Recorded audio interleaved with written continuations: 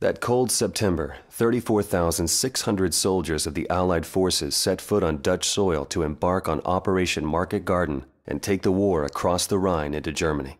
On September 27th, the combined assaults of the 506 and the 50 Deuce, which included the 101st Recon Squads, were able to drive the German forces from their stronghold in Koevering.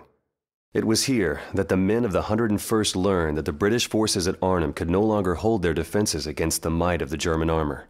They gave their all for reinforcements that would not arrive. As 30 Corps, ambushed, battered, wounded, and dying, would never reach their destination. Ultimately, the Allies were forced to abandon the goal of securing Arnhem, with the toll having reached over 17,000 Allied casualties in just eight days. But their story was not over.